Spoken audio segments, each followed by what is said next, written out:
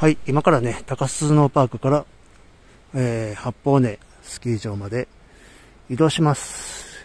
今日ね、土曜日、えー、4月23日、えー、高須スノーパーク、えー、まあいろいろ動画、積雪状況とかね、撮っていったんで、動画ね、アップしたんで見てください。で、えー、っと、明日ね、うんと、八方根です。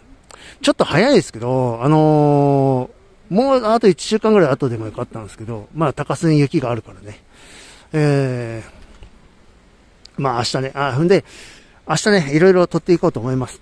えー、まあそのこと細かくね、レポートはできないかもしれないですけど、えー、先シーズンもね、えっ、と、八方根ね、行ったんですよ。あと、エイブル、エイブル21か。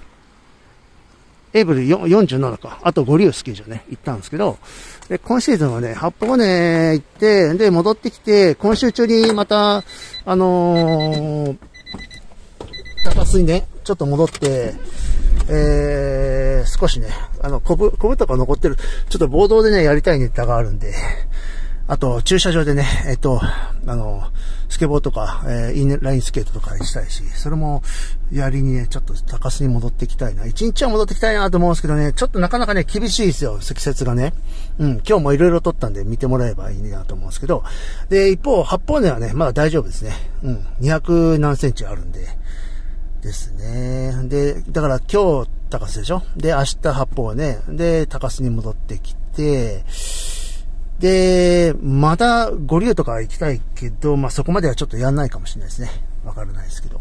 はい、そういう予定で。んで、今からね、高須からね、何分かかるか、えー、行ってみようと思います。えっと、今がね、うんとね、7時、夜のね、7時5分です。7時5分ね。で、あのー、何分かかるか。ほとんど高速道路使えんじゃん。高須からだったら。だからね、まあちょっとね、その寝たいから、まあ、7時間は寝たいんで、うん。さあ、どれぐらいかかるか。まあ着いたらね、またあの動画アップします。ということで、えー、じゃあね、えー、バイチル、安全運転で行ってまいります。